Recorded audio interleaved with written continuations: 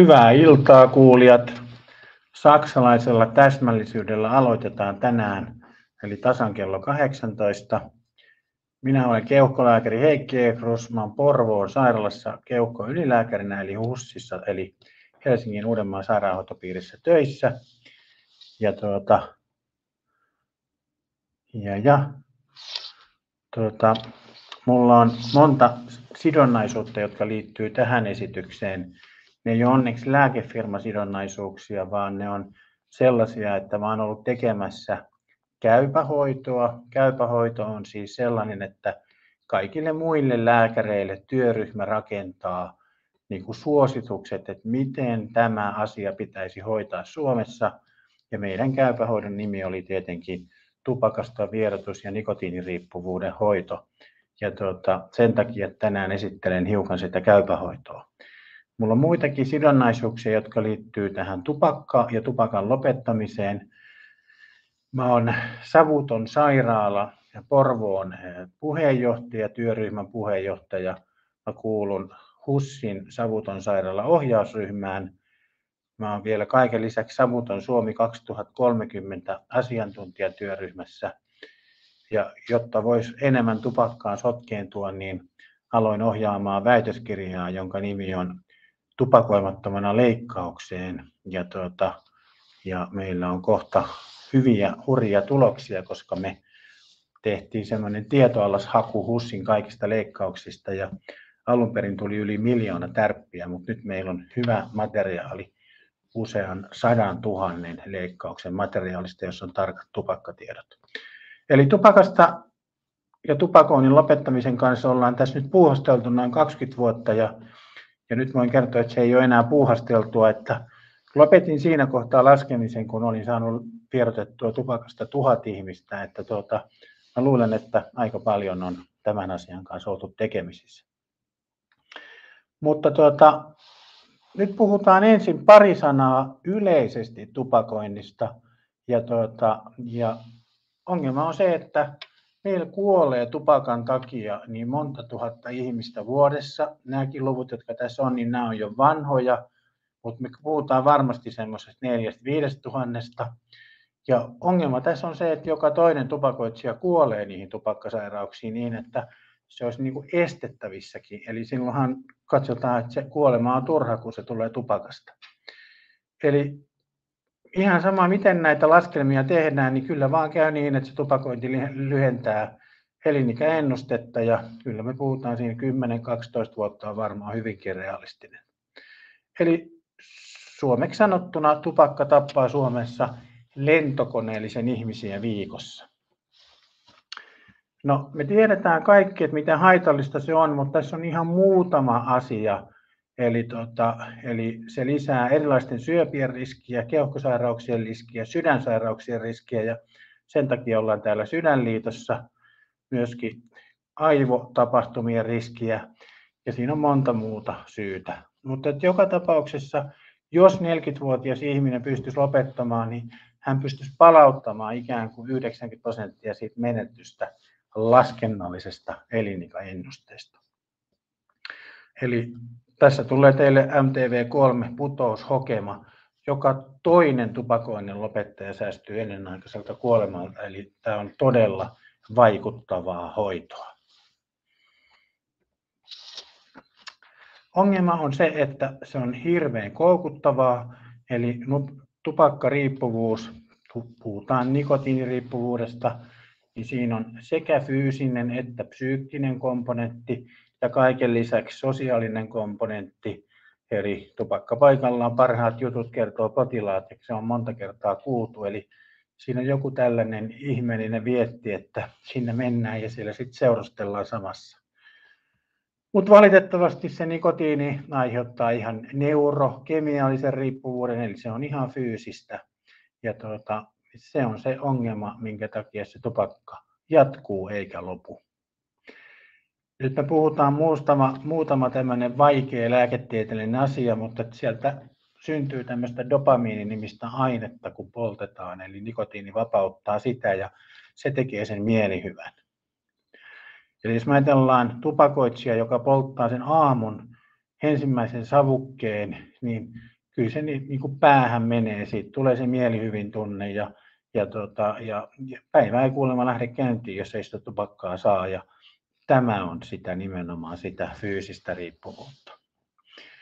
Ja kun ihminen polttaa tupakkaa, niin se nikotiini imeytyy, se lähtee imeytymään jo suun limakalvolta, mutta tuota, sitten kun se hengitetään keuhkoihin, niin se imeytyy tosi nopeasti ja menee aivoihin semmoisessa 10-15 sekunnissa ja sitten se niin sanotusti kilahtaa päähän.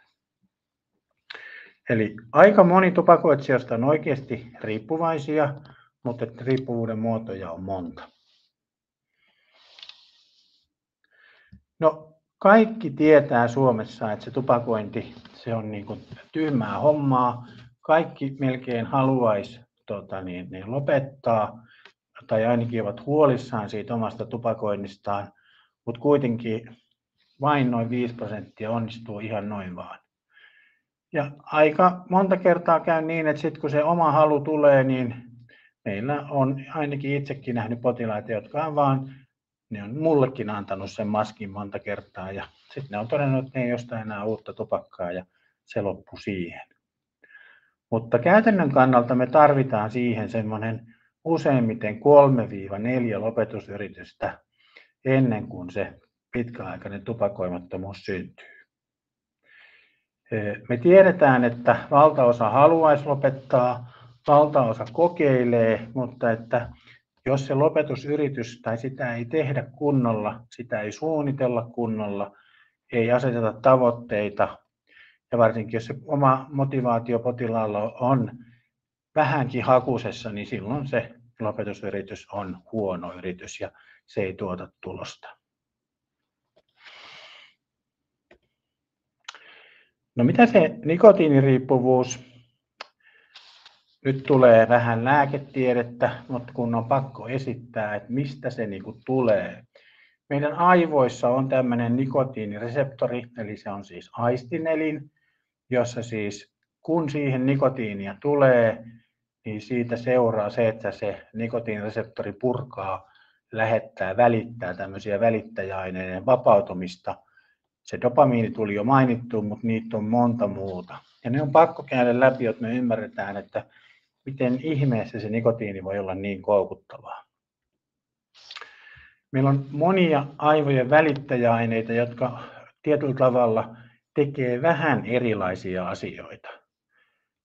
Se mielihyvä on se dopamiinin kautta tuleva ja se vähentää samalla ruokahalua ja kun ruokahalu vähenee, niin paino ei nouse ja tässä on se osa syy siihen, että tuota, tupakoitsijat niin paino pysyy kurissa ja jopa mallit on käyttänyt tätä niin kuin apuna tai missit, että kun polttaa tupakkaa, niin ei syö niin paljon ja paino ei nouse ja se pysyy kurissa. Se on vähän huono painohallintatapa tuo tupakointi. Sitten siellä on tämmöinen aine kuin noradrenaliini, jossa tulee tämmöistä niin kuin vireystilan paranemista, ja sekin vaikuttaa ruokahaluun. Serotoniini vaikuttaa mielialaan, ja sitten tuota, muitakin näitä. Siellä on kaksi viimeistä, jossa sanotaan, että on ahdistuksen ja jännityksen lieventyminen, ja tämä on se, jossa varsinkin ne potilaat, joilla on niin kuin psyykeongelmaa, niin ne kokee sen, että kun ne polttaa tupakkaa, niin niitä ahdistaa vähemmän, ne ei jännitä niin paljon. Ongelma vaan on se, että tuota, se vaikutus siihen ahdistuneisuuteen kestää vain sen ajan, kun se tupakka palaa. Ja sitten kun se tumpataan, niin se ahdistuneisuus on ihan samanlainen kuin ennen sitä tupakkaa. Eli se on hetken hurmaa. No nyt me päästään siihen, että miksi se niin, kuin niin paljon koukuttaa ja mistä se lähtee. Eli kun tupakointi alkaa, tupakointi kestää jo muutamia viikkoja, niin, niin niiden nikotiinireseptorien määrä siellä lisääntyy ja myöskin niiden herkkyys lisääntyy. Eli yksinkertaisesti aivot huutaa siellä, että anna, anna tupakkaa ja minkäs ihminen aivoilleen mahtaa ihminen sytyttää uuden savukkeen aina aina uudelleen ja siitä se tulee. No sitten tietenkin, tämä on vähän sama kuin muissakin näissä nautintoaineissa, että tulee toleranssi eli sietokyky kasvaa ja pitää saada enemmän ja enemmän sitä ainetta ja niin, että sitä alkaakin mennä se askipäivässä tai yli. Ja sitten siihen pikkuhiljaa kehittyy riippuvuus. Ja miten se nikotiinikoukku oikein syntyy? Niin se syntyy sillä, että ihminen tupakoi, meille tulee se nikotiinipiikki, erittäin nopea nikotiinipitoisuuden nousu veressä ja aivoissa. Se aiheuttaa sen, että se välittyy sitä dopamiinia, syntyy mielihyvää, se reseptori herää, me tarvitaan enemmän ja enemmän nikotiinia. Sitten kun se hiljenee ja kun ei saada sitä nikotiinia, nikotiinimäärä veressä pienenee, niin tulee vierotusoireet, tulee tunne, tarve, että saadaan sitä tupakkaa, jotta saadaan uudestaan mielihyvää, jotta saadaan, ja näin se koukku on valmis. Ja tämä koukku on kova koukku, tämä on nikotiini, riippuvuus on todella vahva riippuvuus ja sen takia tupakoinnin lopettaminen osalle potilaista on vaikeaa. Mutta on muistettava, että meillä on myös tapatupakoitsijat, jossa ei ole välttämättä ollenkaan nikotiiniriippuvuutta ja siitäkin puhutaan hetken päästä lisää. Nyt mun on pakko kysyä, oliko se niin, että mä saan välillä esittää kysymyksiä vai vedänkö putkeen? Kysyn, annetaanko välillä yleisölle kysymyksiä vai vedetäänkö putkeen? Niin, okei, okay, selvä, hyvä, kiitos. No niin, me jatketaan. Mä otin tähän, osa näistä luonnoista on otettu materiaalia, jotka on suunnattu lääkäreille, sekä yleislääkäreille, työterveyslääkäreille ja kaiken alan erikoisalan lääkäreille. Ja sen takia tässä on tämä puheeksi ottaminen, mutta tämä on hirmu tärkeä, koska tietyllä tavalla niin kun toi viimeinen lause on se, että potilaalla on oikeus hyvään hoitoon, eli tarkoittaa sitä, että siihen täytyisi puuttua. Se ei saa mennä niin, että että niin kuin se aloite tulee potilaalta, vaan se pitäisi tulla myös lääkäriltä. Ja mitä enemmän siitä tupakasta puhutaan, se on siis rutiinia, eli kysytään se tupakointi, kirjataan se, niin silloin niin kuin homma menee paremmin eteenpäin. Ja tuota, tässä on näitä vanhoja mainoksia ja, tuota, ja tuota, miten kaikkia tupakkateollisuus teki, että yritti saada ihmiset polttamaan, mutta tuota, onneksi tupakkamainonta on jo historiaa ollut jo pitemmän aikaa. No, meillä on kuitenkin sellaisia tilanteita, jolloin varmasti niin kuin se tupakoinnin lopettaminen on potilaan mielessä entistä enemmän. Akuutti sairastuminen, akuutti sydäntapahtuma on todella hyvä esimerkki siitä. Mun oma serkku oli 35-vuotias, kun hän sai ensimmäisen kerran, tehtiin pallolaajennus hän tupakoi ja siellä tota, HUSin päivystyksen hoitajat sanoi hänelle, että jos vielä vedät yhdenkin tupakan, niin sä kuolet. No minä tiesin kyllä, että ei se totta ole, mutta se tota, niin toimi tähän mun serkkupoikaan ja hän tota, niin usko hoitajia ja lopetti tupakoinnin moneksi vuodeksi, kunnes hän sitten repsahti uudelleen. Mutta se akuutti sairastuminen, se on sellainen, jolloin lääkärin pitäisi iskeä kiinni koska silloin myöskin potilas on vastaanottavainen. Se voi olla myös sairauden uhka, koska itse olen keuhkolääkäri, käytän tätä sairauden uhkatilannetta hyväkseni. Eli silloin kun potilaan keuhkokuvasta löytyy, löytyy joku muutos ja hän tulee sitten erikoissairaanhoitoon tutkimuksiin, vaikka mä alun pitäen tiedän, että kun tietokonekuva on jo tehty, että eihän siellä mitään ollut, mutta mä käytän sen ajan hyväkseni siihen, että saan potilaan tupakoinnin loppumaan ja uskokaa tai jälkeen se toimii. No äsken puhuttiin siitä leikkauksesta, mutta että leikkaus kaksinkertaistaa todennäköisyyden tupakoinnin loppumiseen ja sen takia se on herkullinen hetki niin, niin sanotusti iskeä kiinni. Mikä tahansa leikkaus tai toimenpide, niin tupakointi on hyvä lopettaa. No sitten läheisen sairastuminen on myöskin tietyllä tavalla joskus erittäin hyvä, mutta henkilökohtaisesti tykkään eniten tuosta lapsen lapsen syntymästä, koska silloin varsinkin kun se isoäiti eli mummo saa sen ensimmäisen lapsenlapsensa ja mummo edelleen tupakoi, niin, niin on helppo puhua siitä, että eihän se enää sitten pussaa sua, kun sä haiset niin pahalle ja, ja kaikkea muuta. Ja tuota, kun se halaa sua, niin se haisee tupakalle ja sä haiset tupakalle ja sitten se, kun se oppii se lapsi puhumaan, niin sitten se kysyy, kysyy mummolta, että minkä takia, mikä tämä haju on ja kaikkea tämmöistä. että silloin on tosi hyvä iskeä kiinni. Eli tietyllä tavalla herkät hetket silloin, kun se potilaan elämäntilanne on sellainen, että, että tuota, kannattaisi ikään kuin lopettaa tai olisi syytä lopettaa se tupakointi, niin silloin täytyy siihen puuttua. Ja se on ihan sama, tekeekö sen aloitteen lääkäri vai potilas, mieluummin molemmat. Tota, miksi se tupakoinnin puheeksi ottaminen on tärkeää, koska sitten täytyisi myöskin jotain tehdä. Ja jos me tehdään jotain ja vasemmalla tässä meidän pyramidissa kulkee nämä minuutit, tämä on niin kuin yleislääkärin aika, eli kuinka monta minuuttia hän käyttää, ja toisella puolella on sitten tupakoinnin lopettamisen todennäköisyys, kaksinkertainen, kolminkertainen, nelinkertainen tai 5-7-kertainen, riippuen siitä, että kuinka monta minuuttia siihen vierotukseen tai tupakan puheeksi ottamiseen ja interventioon käytetään. Ja tuota, lyhyesti, mitä tämä pyramidi tarkoittaa, niin tämä tarkoittaa sitä, että meillä on tämmöiset perusasiat. Eli jos perusasiat tehdään, niin tupakoinnin lopettaminen todennäköisyys on kaksinkertaista. Eli kysytään se tupakointi, kirjataan se. Me puhutaan askivuosista, eli kun ihminen polttaa askin päivässä tupakkaa vuoden ajan, niin siitä syntyy yksi askivuosi. Jos ihminen polttaa kolme askia päivässä, niin vuodessa tulee silloin kolme askivuotta. Tämä kertoo siitä riskistä, että mitä sitten tapahtuu, kun niitä askivuosia on tarpeeksi, kun puhutaan keuhkoahtamataudin, sydänsairauden ja syövän riskiin. Mitä enemmän askivuosia, niin sitä todennäköisempää, että joku sairaus sitten pukkaa päälle. No sitten itsehoitomateriaali, eli tarkoittaa siis sitä, että jos se lääkäri tai hoitaja ei itse kykene tekemään sitä tupakan suhteen muuta, niin antaisi edes tällaista luettavaa potilaalle. Ja yksi parhaimpia, jaha, ei se ollutkaan tässä kohtaa, mä menkin hyppään muutaman, koska se oli hävinnyt täältä, jaha, hupsista heijaa. No, ei se mitään. Se on tänään oikea päivä on sen nimi, sen tuota, itsehoitomateriaalin. Se on semmoinen lyhyt esite, jossa kerrotaan niin kuin hyvin äh, niin kuin yksinkertaisesti, mutta tehokkaasti potilaalle sitä, että mitä hän pystyy siitä tupakasta pääsemään eroon. No, kun se tupakka kysytään aina ja tuota, me arvioidaan silloin myös halukkuus lopettamaan.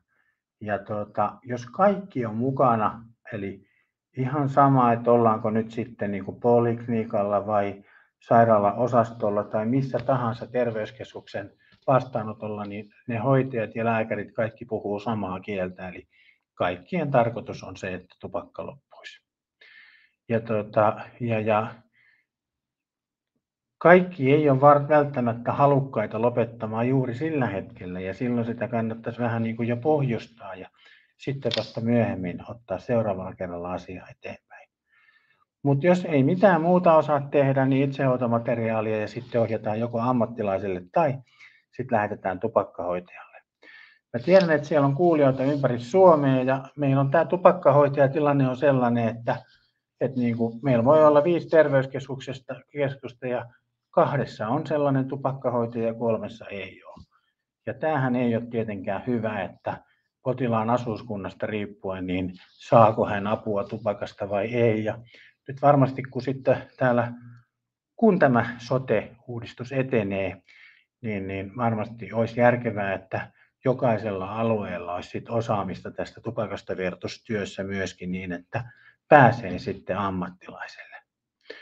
Mä olen itse Porvoossa töissä ja meidän Porvoon tupakkaklinikka on Suomen toisiksi vanhin. Vanhin on TYKS ja niin, että me ollaan TYKSin kanssa tehty paljon yhteistyötä tässä asiassa ja yritetty kouluttaa lääkäreitä, hoitajia pitkin Suomea tässä asiassa, että sitä osaamista syntyisi. No sitten meillä on nelinkertainen mahdollisuus lopettaa, kun tehdään kaikki ne, mitä äsken tehtiin, mutta sitten vielä arvioidaan, että onko potilaalla nikotiiniriippuvuus, arvioidaan, haluatko hän oikeasti lopettaa, tai sitten arvioidaan niitä asioita, miksi hän ei voi lopettaa. Ja kun ne kaikki on tehty, niin sitten tuota, myös neuvotaan keinoja siihen lopettamiseen. Ja nyt tulee se tärkein asia. Sovitaan potilaan kanssa lopetuspäivä. Eli nyt on 15. helmikuuta, niin ihan sama mitä metodia käytän, niin voisin nyt esimerkiksi sanoa, että jos me aloitetaan nikotiinituotteet, me aloitetaan joku lääke, niin nyt erittäin hyvä lopetuspäivä on ensimmäinen päivä maaliskuuta, eli ensimmäinen kolmatta. Mä kerron, että me tehdään nämä asiat, sä lopetat tupakoinnin ensimmäinen kolmatta, ja sen jälkeen et saa enää tupakoida. Ja, tuota, se on niin kuin, ja sitten se kirjataan sairauskertomukseen. Et jos näin menetellään ja potilas on mukana, niin meillä on sitten sovittu, se on yhdessä sovittu päivä, ensimmäinen kolmatta, että silloin se tupakka loppuu. Ja jos potilaalla on annettu ohjausta, neuvontaa, ehkä jopa lääkekin, niin todennäköisyys, että hän pääsee siitä tupakasta eroon silloin ensimmäinen kolmatta on jopa suuri. Tai sitten se voi olla mennä niin, että tupakoidaan vielä ensimmäinen maaliskuun viikko ja sitten se käytännössä loppuu. Ja sitten tärkein yksi on se, että sovitaan jonkunlainen kontrolli. Te kuulette kohta, että mitä käypähoito suosittaa, mutta että tuota, se on ihan sama tapahtuuko se vastaanotolla, soittojalla, sähköpostilla, millä tahansa tota, viestintämenetelmällä, kun vaan sovitaan, että miten niin kuin, ja kysytään sitten siellä kontrollissa, että oletko saanut savukkemääriä pienentymään, oletko saanut lopetettua, miten menee, onko vierotusoireita ja kaikkea näitä. Ja se on ehkä se yksi tärkein asia, millä me saadaan se lopputulos hyväksi. No, miten me arvioidaan sitten se, että onko potilaalla nikotiiniriippuvuutta, niin siihen on kaksi tämmöistä yksinkertaista kysymystä. Eli kuinka monta minuuttia kuluu siihen, kun silmät aukeaa, että ensimmäinen tupakka syttyy? Onko se alle tota niin, niin, 6 minuuttia, 6 ja 30 minuuttia vai yli puoli tuntia? Ja siitä tulee pisteet ja sitten tietenkin kuinka monta savuketta päivässä poltat. Aika usein kuuluu, että yleislääkärit sanoo, että kun ei ole aikaa näiden kahden kysymyksen esittämiseen ja niihin vastauksiin, niin kuuluu yhteensä 22 sekuntia, että ei se ole pitkä aika.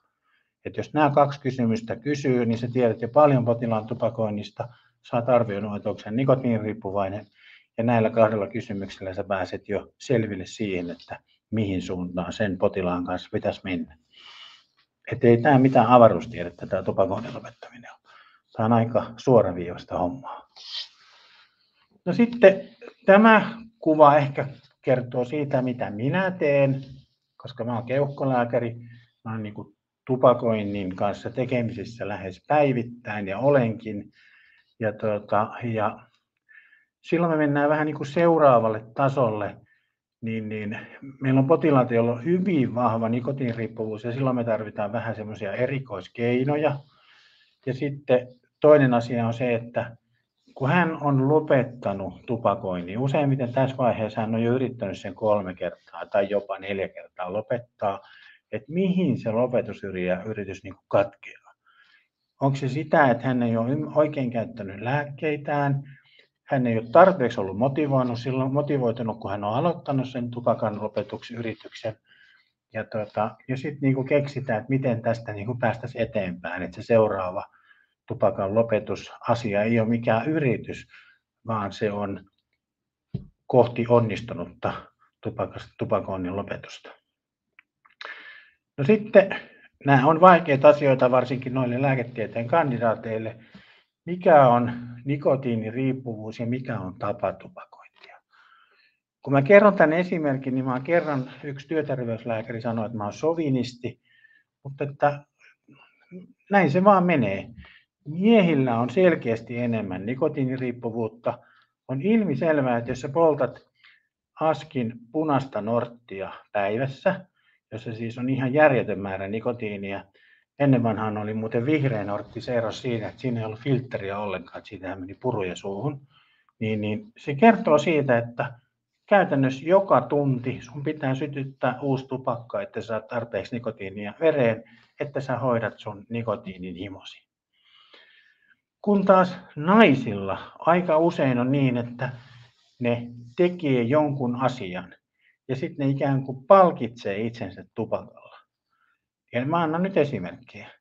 Tyhjennetään se tiskikone, tota, imuroidaan palkkiotupakka, laitetaan pyykkikone, tehdään sitä, tehdään tota ja palkkiotupakka. Eli tietyllä tavalla siihen askareeseen voi kulua 20 tuntia ja sitten tulee se tupakka. Ei se ole nikotiiniriippuvuutta. Tai hän voi olla neljä tuntia ihan ilman tupakkaa, kun hänellä on joku mielenkiintoinen asia menossa. Ei hän kaipaa sitä tupakkaa, koska hänellä ei ole nikotiiniriippuvuutta, se on enemmän tapa. Ja työpaikoilla, jos te katsotte siellä, te olette seurannut, niin, niin siellähän mennään aina niin kuin pareittain tupakalle tai laumassa. Ja jos kukaan ei lähde tupakalle, niin en mäkään mene. Eli tietyllä tavalla sekin on tupakointia. Se on yksi just sitä sosiaalista tupakointia. Se ei ole nikotiiniriippuvuutta. Nikotiiniriippuvuutta voi hoitaa lääkkeellä, mutta tapatupakointia ei. Sitten mietitään sitä, että milloin se tupakka syttyy ja milloin ei syty. Ja tämä on niin kuin tosi hankalaa, että niin kuin tietyllä tavalla potilas itse kertoo kyllä ne, että milloin hän pystyy olemaan ilman tupakkaa ja milloin ei, ja miksi hän menee tupakalle. Vai onko se joku automaatio, joka vie hänet sinne ulos ja hän sytyttää sen tupakan. Aika harvahan et, niin kuin nyt nykypäivänä polttaa enää sisällä. No sitten kun nämä kaikki ongelmat on saatu ratkottua, niin sitten mietitään, että mikä se oikea lääkehoito on ja sovitaan se kontrolli, joka voi olla nykypäivänä ihan millä tavalla. Tota, mä tiedän, että tuolla on terveyskeskuksissa on todella näppäriä tapoja hoitaa kontrolleja nykyisin, varsinkin korona on opettanut siihen, että sen ei tarvitse olla aina käynti, eikä välttämättä soittokaa, vaan siihen on kyllä metodeja keksitty. Nyt täytyy hörpätä vettä, kun tässä on tullut puhuttua jo, kuin ruuneväri sieltä Porvoosta. No, minkälaisia keinoja meillä on sen tupakoinnin lopettamiseksi? Eli, tota, eli minkä takia me annetaan nikotiinia osalle meidän nikotiiniriippuvaisille potilaille?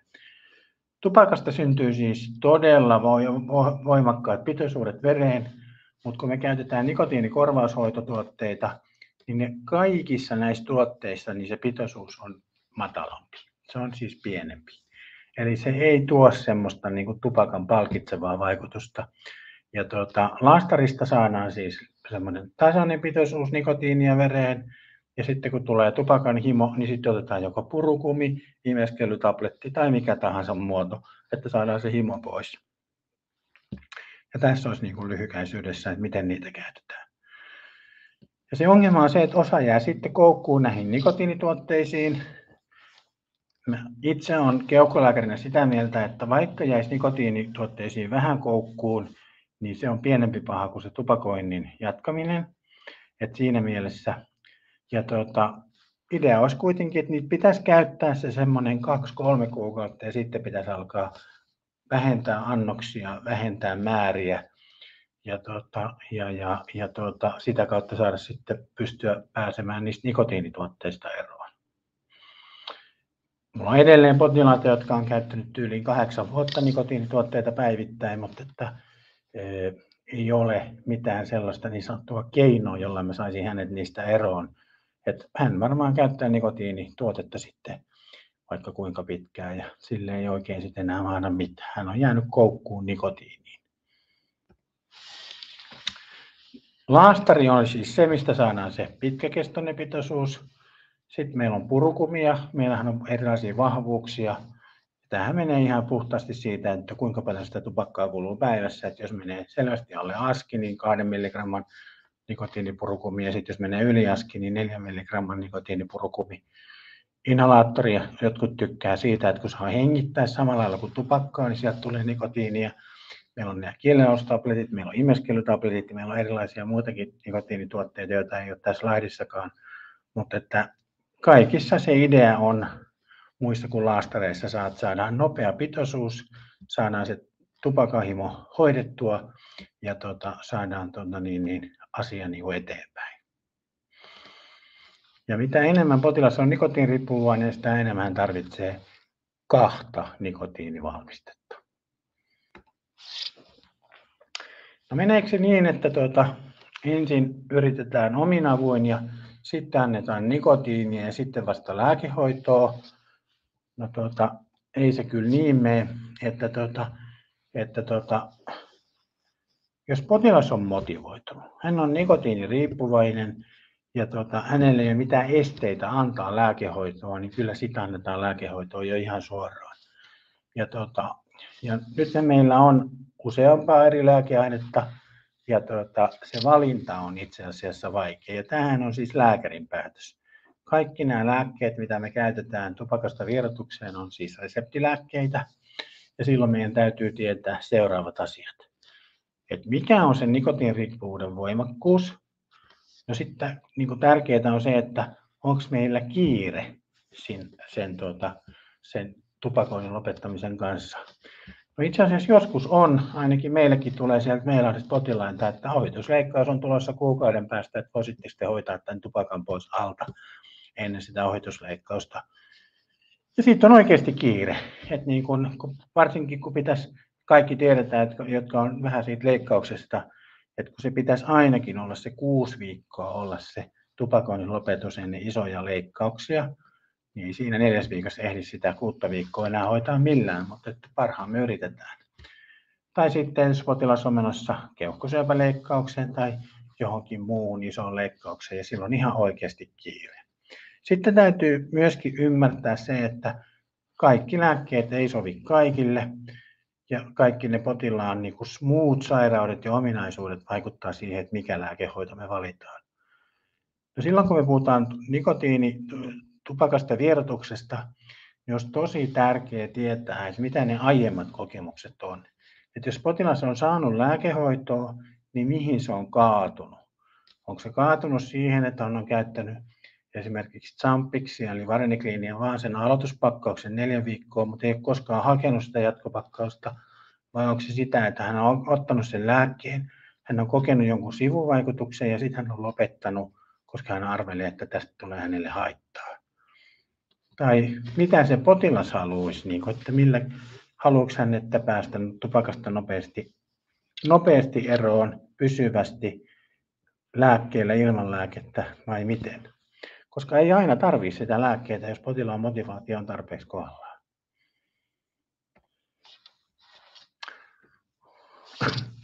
No, kun potilas tai te siellä haluatte eroon tupakasta, niin meillä on stumppi, joka on erittäin hyvä, toimii, josta saa apua. Se on ihan tämmöinen maksuton palveluhomma.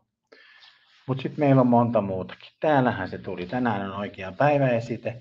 Se on meidän suosikki ollut jo pitkään. Se on tosi hyvä. Ja, tuota, ja tuota, niin, niin. Sitten meillä on erilaisia mittareita. Häkämittausta käytetään erityisen paljon siis tupakasta vierotusryhmissä, mutta myöskin neuvoloissa. Et se on niin otettu tuolla, eli raskaana oleva äiti, joka tupakoi, niin sitä käytetään sitä häkkäämittausta siinä, että me saadaan niin kuin se A, tupakointi lopetettu ja sitten myöskin osoitettu, että se varmasti loppuu. Ja äidit tykkää siitä, että kun ne pystyy puhaltamaan niin sanotusti nollat. Ja nyt ei puhuta alkoholista, vaan häkästä. Mikrospirametri on sitten niille tupakoitsijoille, me mietitään, että olisiko hänelle kehittämässä keuhkoahtamatautia, jos se puhallusarvo on selkeästi madaltunut, niin potilaalle voidaan osoittaa, että nyt keuhkot on saanut liikaa tupakkaa, että nyt täytyisi lopettaa. Sitten meillä on erilaisia kirjallisia materiaaleja, nettisivuja ja, tuota, ja, ja, tuota, ja näitä vihkosia. Mutta se, mikä nyt on tullut ihan uusi, no uusi ja uusi, mutta on 28 päivää ilman. Ja tuota, siihen on siis ihan omat nettisivut, mutta siellä on nyt siis kampanja menossa. Sydänliiton Savon sydänpiirissä on tämmöinen verkkotukiryhmä, mutta 28 päivää ilman on siis olemassa ihan oma juttunsa ja se on erittäin toimiva systeemi, että kun laittaa ihan sinne Googleen, että 28 päivää ilman, niin sieltä pääsee näille sivustoille. No sitten kun mennään tähän lääkehoitoon, niin tuota, ensin täytyy kertoa se, että ne on, niillä on hyvä teho, ja ne on hyvinkin niin kuin perusteltua käyttää niitä ja se on niin kuin todella kustannusvaikuttavaa, että periaatteessa on sanottu niin, että jos mä nyt saisin jonkun potilaan lopettamaan tupakoinnin tänään loppuiäkseen, niin mun ei tarvitsisi enää mennä loppuviikoksi töihin, koska mä oon tehnyt jo todella paljon töitä tällä viikolla, eli saanut yhden potilaan virttumaan. No, meillä on kolme lääkettä, joista kaksi ylimmäistä on niin virallisia, jotka voidaan on niin kuin tupakasta vierotukseen nikotiiniriippuvuuden hoitoon. Ensimmäinen on varenikliini eli Champix. Tässä vaiheessa on pakko sanoa, että nyt siellä on joku globaali ongelma. Tätä tuotetta ei ole nyt saatu moneen kuukauteen. Sen tuotteen piti tulla takaisin viikolla 13, joka on muistaakseni marraskuun loppu, mutta nyt näyttää siltä, että ei siihenkään päästä, että tota, se niin kuin, tämä globaali maailmanlaajuinen lääkepula tulee jatkumaan vielä kuukausikaupalla. Eli tätä ei tällä hetkellä saa apteekista, koska tätä ei, ne on kaikki vedetty pois. Mutta että lääke on mainio, itse käytän sitä paljon ja syy on seuraava. Se on sekä agonisti että antagonisti, tarkoittaa siis suomeksi sitä, että agonisti tarkoittaa, että kun me annetaan tätä lääkettä potilaalle, niin ihmisen aivot luulee, että ne, että ne saa nikotiinia. Eli me huijataan aivoja antamalla lääkettä, joka tekee ikään kuin vaikutuksen, että nyt, nyt tuleekin nikotiinia vereen, vaikka ei tule yhtään. Antagonisti tarkoittaa vähän niin kuin antavusta, tarkoittaa siis sitä, että vaikka tupakoidaan, niin kun syödään tätä varenikiinilääkettä, niin, niin, niin, niin tuota, mitään mielihyvää, mitään kiksejä ei synny siitä aamunkaan ensimmäisestä tupakoinnista, vaan että käytännössä tupakka vaan yskittää ja maistuu pahalta. Eli siis aivot luulee, että ne saa nikotiinia, tupakasta ei tule mielihyvää, jolloin potilas vähän niin kuin automaattisesti lopettaa tupakoinnin. Pakkauksia on kaksi, aloituspakkaus ja jatkopakkaus. Aloituspakkaus neljä viikkoa ja tarkoitus on, että tätä syödään se koko 12 viikkoa. Ja se biokemiallinen tausta on se, että niiden nikotiinireseptoreiden määrä vähenee, niiden herkkyys vähenee jolloin ne aivot enää kuiskii siellä pikkusen, että annatko tupakkaa ja eikö mä oon lopettanut. Eli tarkoittaa sitä, että ei ole enää sitä mieli, mieli hyvän eikä tupakan himon tunnetta. No sitten meillä on buprobioni, kauppanimi on Zyban, ja tuota, koska tämä ei ole lääkefirman tilaisuus, niin mä voin puhua ihan mitä vaan. Tätä buprobioni on siis muitakin tuotteita. Tähän on siis myös masennuslääke, Tämä estää kahta näitä välittäjäainetta ja niiden takaisinoton estäjä, jolloin taas se mielihyvä vaikutus saadaan pois sieltä. Sybania syödään kahdeksan viikkoa eli kaksi kuukautta. Ja tuota, tämä alkuperäinen, tämä Zyban tuote, niin maksaa muistaakseni 150 euroa, mutta sitä on ihan samanlaista tuotetta masennuksen hoitoon, ja se maksaa muistaakseni 32 euroa. Mutta tuota, koska mä olen lääkäri, mä pystyn käyttämään mitä tahansa lääkettä. Tämän tavan nimi on off-label, eli virallisen käyttöalueen ulkopuolella oleva hoitoa, mutta tuota, ihan kannatettavaa hoitoa, koska toimii. No sitten meillä on viimeisenä tämmöinen kuin noritriptylyyni, eli noritreen ei ole virallista tupakasta vierotusindikaatiota tällä lääkkeellä. Erittäin vanha masennuslääke. Tämä ei maksa oikeastaan mitään.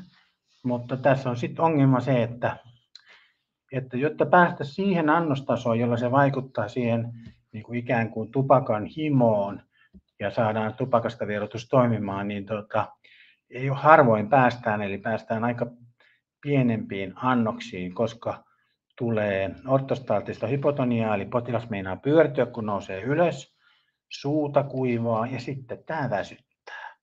Eli iltapainotteinen annostelu ja, tuota, ja, ja aika maltillisesti ne annosnostot, eli tämä on niin kuin, vähän niin kuin vaikea lääke käyttää, mutta sitten kun se toimii, niin tämä on tosi hyvä lääke. Varsinkin hinnan puolesta, koska siitä ei tule kustannuksia.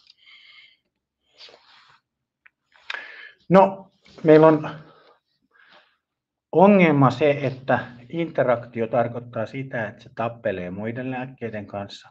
Vareniklinillä ei ole sitä ongelmaa. Vareniklinillä ei ole myöskään ongelmaa sitä, että jos on niin kuin, äh, vähänkin munuaisjuttuja tai niin kuin isompia maksahommia, sitten vasta kun on vaikeat taudit, niin ei saa antaa. Mutta sen sijaan buprobionilla niin tuota, on lukuisia syitä, milloin sitä ei saa antaa. Tai jos on tiettyjä lääkkeitä, niin ei pysty käyttämään. Se bupropionin toinen vaikutus, joka tulee sieltä niiden, se vaikutusmekanismin kautta, että se pikkusen hillitsee sitä painonnousua.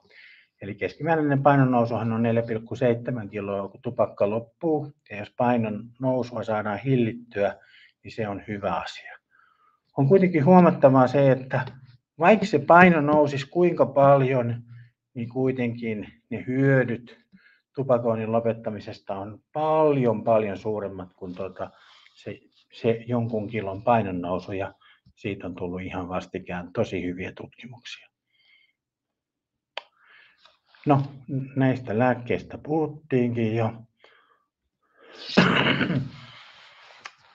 Eli tämäkin käytiin jo läpi, että mä en tätä toista, koska tota, tämä jo käytiin läpi. Mutta nyt puhutaan tota, niin sydänasioista. Eli Variniklin lääkkeellä raportoitiin, että sillä olisi jonkinlaista haitallista sydäntehoa, eli tota, että se vaikuttaisi tähän niin kuin kardiovaskular riskiin, eli että potilaalla olisi enemmän sydäntapahtumia. Näin ollen otin tähän ihan oman slaidin, koska tämä on niin kuin julkaistua tietoa, eli siellä semmoisella hyvin har... mikähän toi väri nyt olisi, oranssi kautta tuommoinen, niin näkyy se, että kuinka paljon se niitä lääkkeestä, tupakasta lääkkeestä tulee riskiä sydäntapahtumiin. Ja sitten tämä punainen, että kuinka paljon tota, se riski pienenee, kun tupakka loppuu. Ja ei tuossa nyt tarvii hirveästi niin kuin miettiä, että kumpaan suuntaan se hyöty tulee. Että kyllä se tupakoinnin lopettamisen hyöty on, on varmaan 50-kertainen verrattuna tuohon riskiin, mitä lääke aiheuttaa. Eli tuota, tupakoinnin lopettaminen kannattaa aina tekee sen sitten lääkkeellä tai ilman, onko sydänsairaus vai ei. Tämä oli tämän, tämän sanoma. No, meillä on muutama minuutti aikaa, niin, tuota, niin puhutaan ihan lyhyesti käypähoidosta. Nämä osa on tullut jo esille. Käypähoito päivitettiin 2018 vuonna itse asiassa sitä suositusta tehtiin taas niin kuin kaikkia käypähoitoja puolitoista vuotta, niin se kestää hirveän kauan. Eli pitää kysyä kaikilta ja kirjata. Tämä on ihan ilmiselvää. Pitää arvioida se nikotiiniriippuvuus kahdella kysymyksellä. Helppoa. E, ja kaksi kysymystä ja niistä pisteet ja pisteistä tulee nikotiiniriippuvuus. Hyvin helppoa tähän mennessä. Nyt tulee se vaikein kohta että mikä on sitä niin sanottua psyykkistä riippuvuutta, mikä on fyysistä riippuvuutta? Ja, tota, ja, ja onko niin pakko tupakoida, tuleeko vierotusoireita, jos ei saa tupakkaa, vai onko se niin, että pystyy olemaan vaikka kuinka kauan ilman tupakkaa, ilman että tulee mitään oireita. Pitäisi tehdä tämmöinen yksilöllinen vierotussuunnitelma, eli kirjata kaikki ylös, mitä on keskusteltu puhua, pitäisi puhua siitä painonhallinnasta ja pitäisi puhua liikunnasta, eli kyllä tässä niin kuin monta asiaa on. Ja tupakoinnin lopettaminen on keskeinen osa monien sairauksien hoitoa, on se sitten sydän tai keuhkot. Näistä lääkkeistä me puhuttiin, mutta tuossa on noin tehot, eli varinilkyyni on tehokkain, ja tuota, sitten vasta tulee nikotiini ja bukrobioni, ja tuota, mutta se täytyy valita potilaan mukaan se lääke, mitä käytetään. Ja muistettava se, että nikotiinikorvaushoitotuotteitahan saa ostettua K-kaupasta tai S-kaupasta tai R-kioskelta tai ihan mistä vaan. Toki apteekistakin, mutta tuota, niin, niin, se on ihmeellistä, että miksi se on myös apteekin ulkopuolella, koska apteekista saisi myöskin ne neuvot. K-kaupasta ei saa neuvoja. No, pitäisi olla se tuki, eli sopea se kontrolli. Tässä on nyt käypähoidon suosittelemat seurantakontaktien välit, eli noin kaksi viikkoa, yksi kuukausi ja kolme kuukautta. Ne on myöskin sopii lääkehoidon kontrolliväleiksi. Ja tota, kontrollihan voi tehdä siis millä tahansa ja se on ihan sama, onko se lääkäri vai hoitaja, joka tekee ne kontrollit. Tota, erilaisia tapoja on, mutta tuo ryhmäohjaus, mä tiedän, että eri terveyskeskuksissa ympäri Suomea on niin sanottuja tupakkaryhmiä. Eli tota, ne tupakkaryhmät on sellainen, että sinne menee 8-10 henkilöä yhtä aikaa ja, tuota, ja, ja, ja tuota, idea siinä on se, että kaikki niin kuin ikään kuin lopettaa tupakoinnin samaan aikaan ja se vertaistuki on ihan mahdottoman hienoa. Tupakkahoitaja on joskus sanonut, että hänellä on nyt sellainen ryhmä, että se on aivan itseohjautuva, että ei häntä siinä enää tarvita, koska ryhmä hoitaa itse omat asiansa. Että se on joskus todella hyvä. Hyvä se ryhmä ja ryhmän voima ja sitten se, että ei kehtaa olla lopettamatta, kun tulee ryhmään. No, meillä on valitettavasti monta muutakin murhetta kuin pelkkä tupakka. Nuuska, tämä on aika usein vähän nuorempien juttu, mutta tota, tässähän se ongelma on, että se nikotiinipitoisuus on vielä korkeampi. Itse nuuskassa on nikotiinia ihan hirveästi ja se, se vasta kolahtaa päähänkin, se nikotiini tästä nuuskasta. Ja valitettavasti niin ongelma on se, että Suomen tuodaan Ruotsista niitä nuuskatyyppejä, jotka ei Ruotsissa mene kaupaksi, eli kaikkein suurimpia nikotiinipitoisuuksia sisältäviä nuuskia. Ja sitten ne myydään täällä vähän niin kuin puolilaittomasti. No, nuuska on siinä paha, että se on kyllä tuo paha tuolle pumpulle. Eli ne tota, nikotiinipitoisuudet on tosi isoja. Siinä on ihan tämmöinen sydäninfarktiriski, siinä on vajaatoiminnan riski ja sitten siinä on aivotapahtuman riski. Eli, eli nuuska on kovaa kamaa, muuta ei pysty sanomaan. Sitten meillä on vesipiippu ja nyt mä en puhu siitä vesipiipusta, jolla hoitetaan kuivaa suuta, vaan ihan oikeasta vesipiippuja. Nämäkin on nuorempien henkilöiden juttuja, mutta näitä vesipiippujakin on sitten kahta erilaista. On se, missä on se vesi ja jossa on sitten vaan pelkkä bongi. Ja, tuota, ja, ja, tuota, ja, ja tänne voi laittaa sitten kans ihan mitä vaan tota, näihin vesipiippuihin, mutta tota, mutta tuota, onneksi tämäkin on vähemmistön, että aika vähän Suomessa onneksi vesipiippua poltetaan, mutta heti kun mennään tuonne Etelä-Eurooppaan, niin se on ihan toista se vesipiipun polttelu. No sitten meillä on erilaisia sähkötupakkoja, eli meillä on sähkösavukkeet, sähköpiiput, sähkösikarit. Ideahan on tässä se, että siellä on siis nikotiinia, sitten siellä on jotain muita aineita, ja, tuota, ja, ja ne muut aineet on lähinnä kyllä siis sitä, että siellä on makuja, hajuaineita, ja ne on kaikki otettu elintarviketeollisuudesta. Eli tota, on vaniljan makusta ja on sen makusta ja tuon makusta. Ei niitä ole tarkoitettu eikä ole tutkittu niitä ollenkaan, että niitä vedettäisiin keuhkoihin. Että ne ei kukaan vedä vaniljaa keuhkoihin. että niin kun, se on ihan niin kuin ilmiselvää. Ja, tota, ja sitten tässäkin niin nikotiini, tuota, niin pitoisuudet on myös ihan järisyttäviä. Ja sitten parasta on se, että ne, niin kuin, ne henkilöt, jotka vetää näitä, niin nehän blandaa itse ne nesteet. Eli ne, se on ihan villiä touhua. Siellä voi olla ihan mitä vaan, mitä ne hengittää. Ja ongelma on se, että eihän tämä ole tupakasta eikä nikotiinivierotusta, että tässä siirrytään vaan nikotiinituotteesta toiseen. Ja arvellaan, että se olisi vähemmän haitallista, mutta nyt tuli ihan uusi juttu Amerikan keuhkolehdessä, että pitkäaikainen sähkötupakan polttelu tekee kuitenkin keuhkooireita. Että kyllä sieltä varmaan sitten astma- ja keuhkohtamatauti tulee, kun tarpeeksi nikotiini sähkötupakkaa vetelee. Eli siis pitäisi arvioida se, että ollaanko nikotiiniriippuvaisia. Pitäisi niin kuin tietyllä tavalla saada se potilas mukaan siihen ja tietenkin jos on se syy lopettaa tupakointi, niin se onnistuu aina helpommin. Eikä pitäisi masentua siihen, että se ei niin kuin ekalla onnistu, vaan sitten pitäisi niin kuin entistä paremmin niin kuin konstein ryhtyä siihen uudestaan.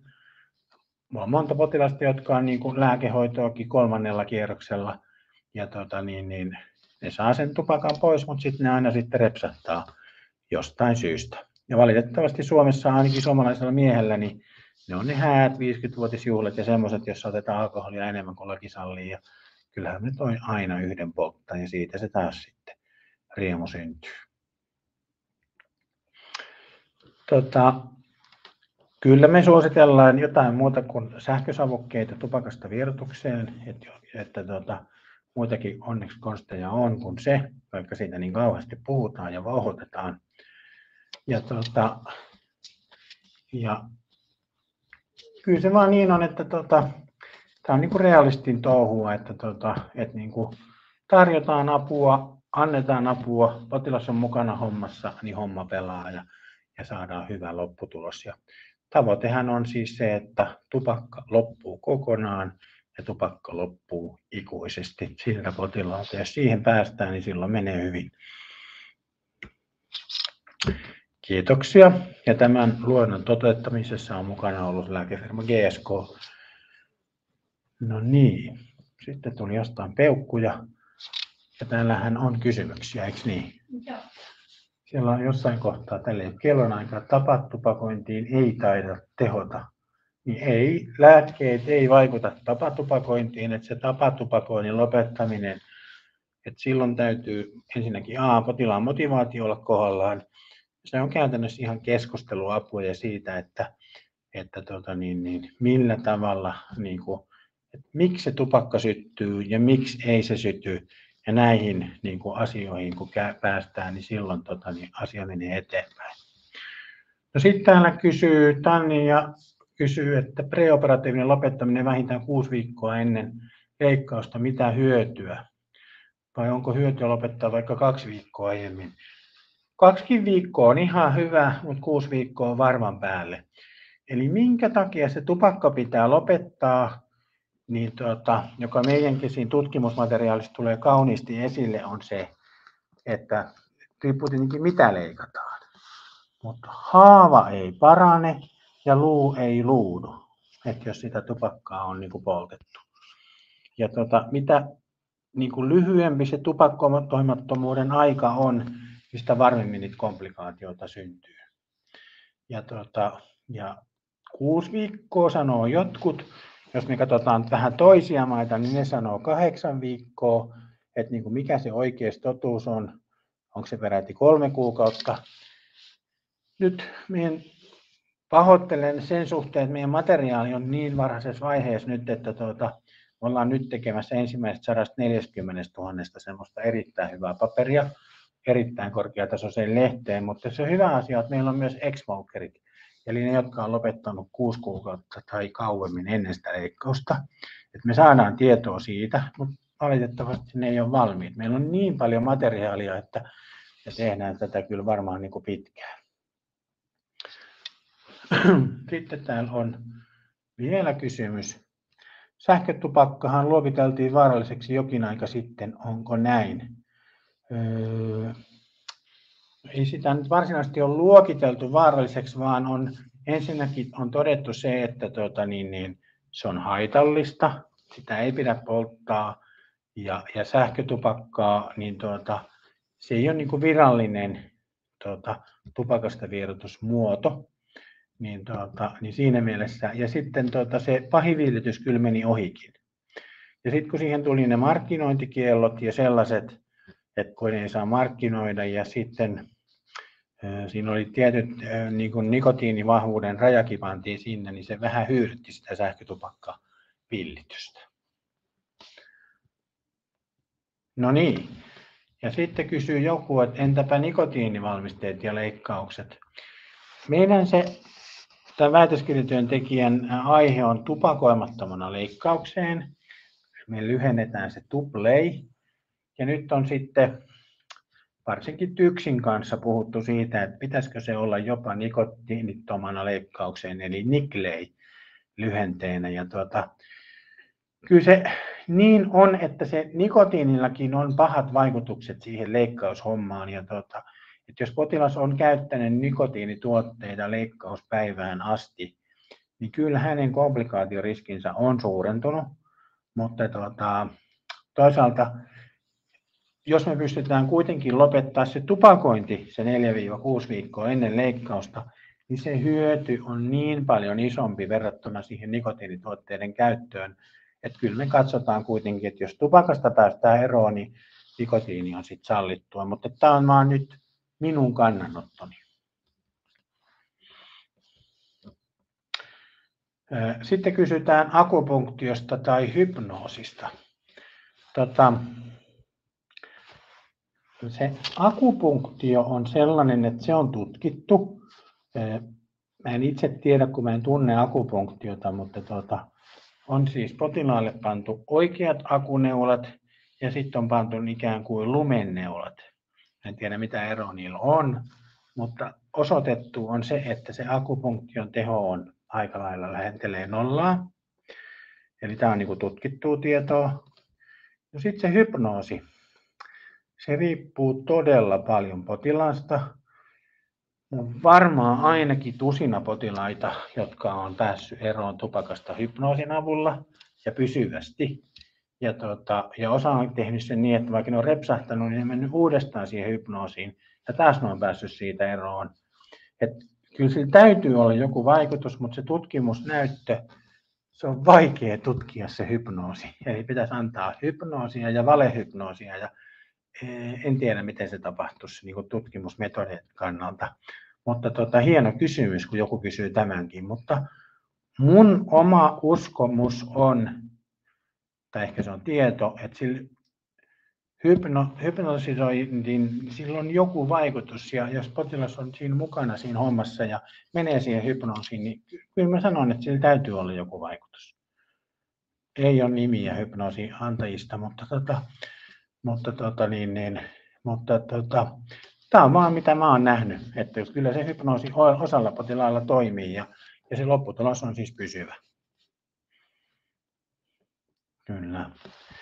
Nyt kello 18.56, onko meillä nyt siis se neljä minuuttia aikaa? Sieltä nyökätään. Olisiko vielä kysymyksiä? Joku kirjoittaa. Oletko sinä?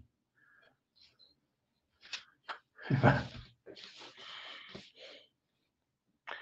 Eli vielä on pari minuuttia aikaa kysymyksiin, jos niitä tulee.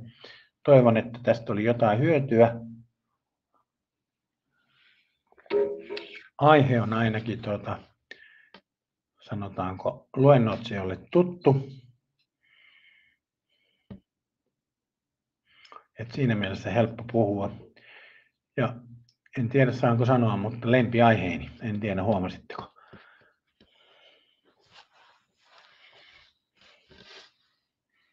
Nyt tulee kehuja. Luennoitsija Heikki Ekruus, keuhkosairaaksi erikoislääkäri Porvon sairaala.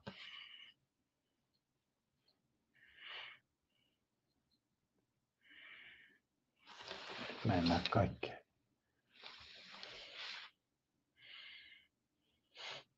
Ai, sieltä tulee yleisöltä lähinnä kommentteja. Hyvä.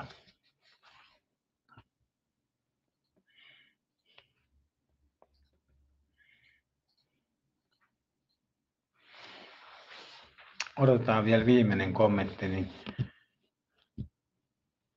jos on kysymys, niin vastataan kysymykseen, mutta jos No niin. Peukkuja satelee. Kiitoksia peukutuksista. Me varmaan pannaan niin sanotusti. Ja sieltä tuli vielä kampanjaakin, niin tuota, me varmaan lyödään niin sanotusti pillit pussiin, eikö niin? Hyvä. Kiitoksia kaikille.